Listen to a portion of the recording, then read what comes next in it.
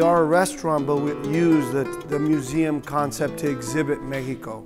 So people always ask me where the museum is at, and I always say on the walls, on the menus, on the plates, in my heart. So that's a little bit of what the concept is. It's a place to gather.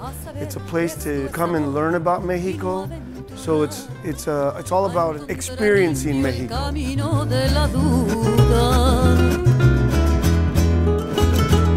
Renunciaré